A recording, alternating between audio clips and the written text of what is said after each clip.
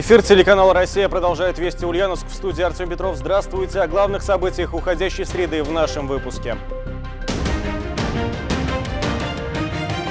Совершенствовать профмастерство, беречь и приумножать традиции беззаветного служения Отечеству. Это слова клятвы новобранцев пожарных отрядов. Сегодня ряды огненной профессии пополнили сразу 12 человек.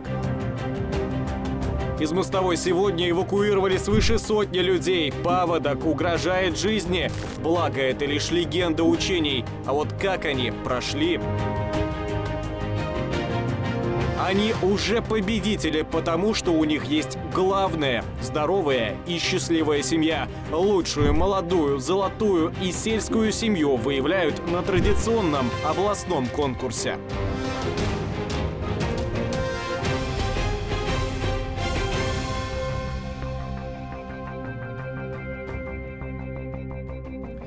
Итак, регион вступил в активную фазу весеннего половодья. Самый опасный период таяния снега закончится 20 апреля. А пока все службы продолжают работу и ограждают население от ударов стихии. За действиями димитровградских специалистов наблюдал Павел Игнатьев. На пути к Черемшану быстроводный Меликеска преодолевает каскад прудов. Друг от друга их отделяют три гидротехнических сооружения. Они удерживают уровень воды и не дают ей выйти из берегов. С февраля месяца специалисты мониторят состояние плотин и регулируют спуск паводковых вод. Нет ли со стороны верхнего бьефа течи, со стороны нижнего течи интенсивного течения.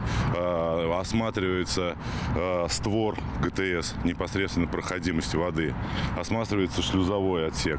Чтобы река текла свободно и без заторов, гидротехнические сооружения очищают от крупногабаритного мусора. Это и поломанные деревья, и сброшенные в воду отходы. Период активного половодья в регионе еще не закончился, но уже сейчас специалисты отмечают, что уровень воды в реках остался в допустимых пределах. Паводок проходит э, без чрезвычайных ситуаций, э, в нормальном режиме. Э, каких-либо нанесенных ущерба имуществу и гражданам, как это было в 2018 году, в настоящее время не зафиксировано. Противостоять стихии общими усилиями, судя по всему, удалось, а вот ограждать людей от их же безрассудства еще только предстоит. Летом некоторым димитровградцам и трамплины не нужны. Любители острых ощущений ныряют в воду прямо с плотин. Такой экстрим смертельно опасен, говорят специалисты, поэтому рекомендуют не испытывать судьбу и купаться только там, где разрешено. Павел Гнатьев, Денис Миронов, Вести Ульяновск из Димитровграда. В реках начала резко подниматься вода. Поселок Мостовая оказался сильно подтоплен. Пострадали 30 домовладений. Нарушенное энерго- и газоснабжение. Срочно нужно эвакуировать 120 человек. Именно по такой водной сегодня утром спасатели и сотрудники других ведомств отрабатывали навыки по спасению людей, которые оказались в зоне подтопления.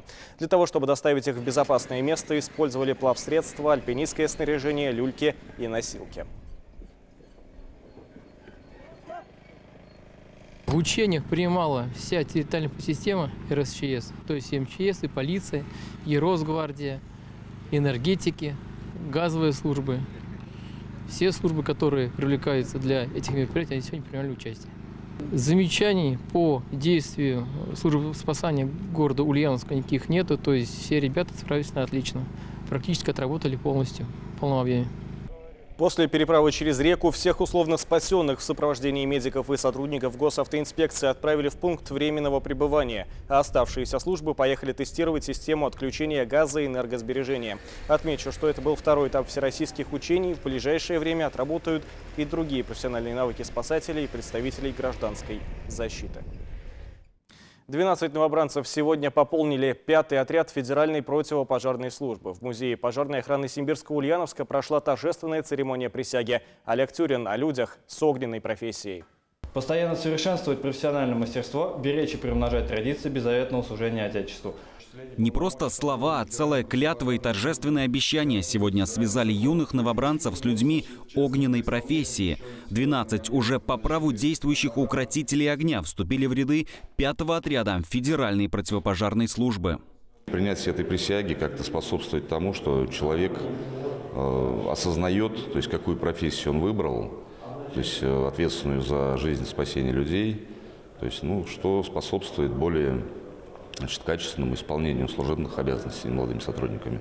Среди руководства и близких, напротив молодых сотрудников, стоят уже ветераны пожарного дела. Как будто прошлое и будущее заглядывают друг другу в глаза. Только вторые уже с вершины большого опыта. Но даже после стольких лет все равно через призму ностальгии. Ведь сегодня еще и день советской пожарной охраны.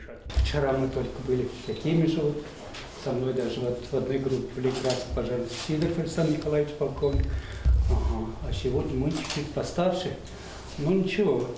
Именно от них новобранцы получают и поздравления, и наставления. Среди тех, кто перенял противопожарный костюм, Максим Филиппов. Для него сегодня это уже вторая по счету в жизни присяга. После службы в армии он исполнил мечту многих мальчишек и стал пожарным.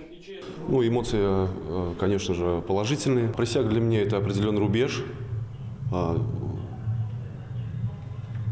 после которого начинается моя профессиональная деятельность в пожарной охране. Я наблюдала с восхищением. Я рада за, за своего сына, я горжусь им, что он служит в органах МЧС, что он достиг чего-то. Я надеюсь, что он будет достигать и дальше. Пока новобранцы отправляются в свой отряд для несения жизненно необходимой службы, сами огнеборцы готовятся уже к своему профессиональному празднику – Дню пожарной охраны России. Юбилейную дату – 370 лет с момента создания службы отметят 30 апреля. Олег Тюрин и Герман Баранов. Вести. Ульяновск. 01 или 101 номера этих телефонов знает каждый. В апреле пожарная охрана отмечает свой профессиональный праздник. О пожарных, которые стояли у истоков службы, и о тех, кто несет героическую вахту сегодня. Разговор в программе «Тема дня». Смотрите сегодня на телеканале «Россия-24» в 21.00. «Тема дня». Не пропустите. Узнать больше о родном городе и крае, познакомиться с достопримечательностями и просто получить удовольствие от увиденного. Все это теперь смогут школьники благодаря образовательному проекту «Уроки краеведения». На неделе туризма первый маршрут уже опробирован. Антон Никитин продолжит. Согласно стратегии развития туризма до 2030 года по всей России детский туристический отдых остается одним из приоритетных. Разработка маршрутов, которые можно интегрировать в учебные программы общеобразовательных учреждений Ульяновской области, началась в 2016 году. Сейчас таких направлений 23. Работали над ними как туроператоры, так и специалисты педагогического университета. Для маленьких детей, для начальной школы мы, конечно, подготовили экскурсии по городу, а вот уже начиная со средней школы дети выезжают в муниципалитеты, они осматривают и природные объекты, и музеи в муниципалитетах, и знакомятся с географическим потенциалом, с историческим потенциалом а, нашего региона. Поэтому маршруты доступны не только для детей, которые проживают в городе, маршруты доступны для детей, которые также проживают в муниципалитетах. Накануне первая группа учащихся лингвистической гимназии и работники ульяновских школ впервые проехали по городскому туристическому маршруту. Посетили они театр театр кукол имени Валентины Леонтьевой и Чувашскую симбирскую школу. Все в рамках экскурсии с многообещающим названием «Сказочное зазеркалье». В процессе экскурсии также можно познакомиться и с различными куклами, с видами различных кукол, потому что сказку можно не только послушать, почитать, но можно и посмотреть, посетив, соответственно, театр кукол, где при помощи кукол актеры воссоздают на сцене различные сказки. Я думаю, эта экскурсия будет интересна всем, и родителям с детьми, и только детям. Такая познавательная, интерактивная экскурсия. Экскурсанты заглянули в святая святых кукольного театра, в закулисье. Увидели, как устроен этот волшебный сказочный мир, откуда начинается звук, как работают актеры и технический персонал и многое другое. В чувашской школе ребята узнали, откуда берутся сказки и какие они бывают в принципе. Каждому запомнилось свое, но мнение по поводу необходимости проведения таких экскурсий вполне однозначно. Мы э, были за кулисами, э, также мы были в музее.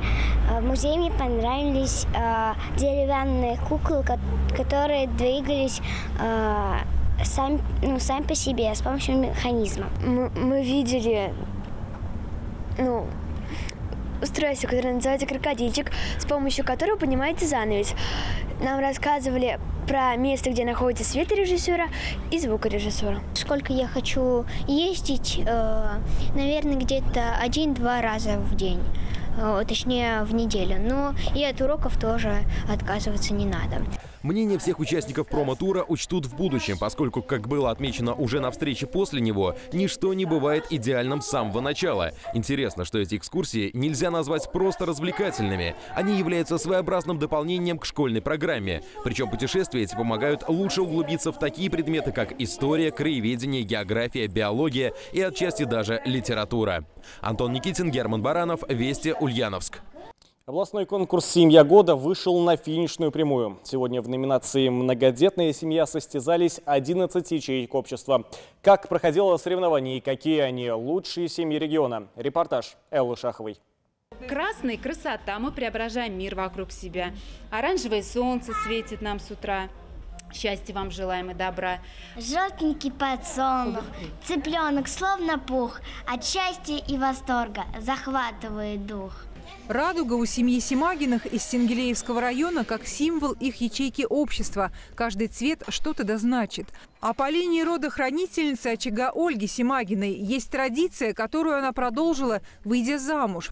Это осветить мир большим количеством лучиков своего солнца – многодетность. А в случае с Ольгой ее же дети сыграли здесь не последнюю роль. У нас, когда э, Любави было наверное, три года, и она все упрашивала, мам, давай родим еще ребеночка. Я говорю, ну давай, иди папу уговаривай. Она к нему подходит, пап, давай родим третьего ребеночка. Он, нет, без меня. И она, ну мы сами родим. А он говорит, ну и пожалуйста. Ну вот, родился Тимошка, но с помощью папы.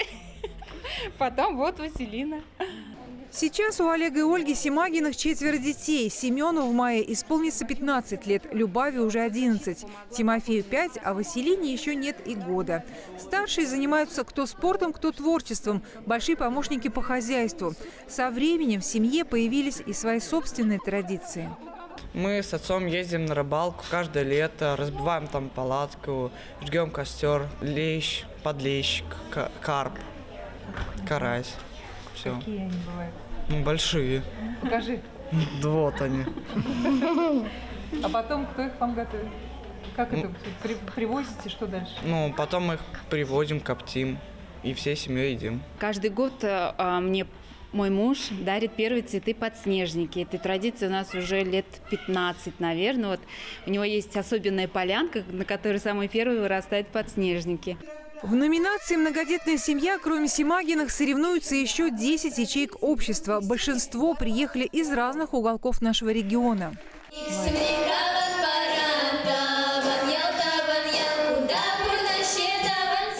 Всего в этом году в конкурсе приняли участие 275 ячеек общества. Из них были отобраны 38. Они примут участие в финалах по номинациям «Молодая семья», «Золотая семья», «Сельская», которые пройдут в конце апреля.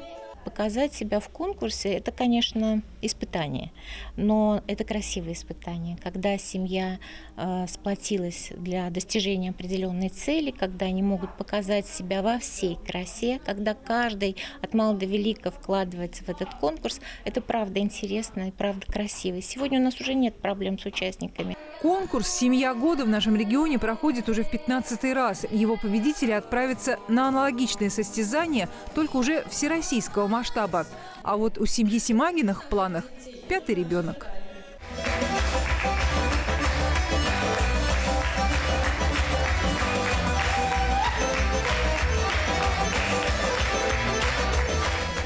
Элла Шахова, Сергей Свешников, Вести Ульяновск. Выдалась уходящая среда 17 апреля. Вести Ульяновск продолжают следить за развитием событий. Оставайтесь с нами. До встречи. Ульяновцы, расскажите о своих героических предках во время прямой трансляции 9 мая на главной площади города. ГТРК «Волга» дает вам такую возможность. Наша телекамера будет расположена возле Дома правительства. Приходите до парада и расскажите о своих близких. Будет работать фотозона. В ближайшие сутки атмосферное давление будет слабо расти. Температура воздуха ночью по области от 5 до 10 градусов мороза. В Ульяновске от 6 до 8 градусов мороза.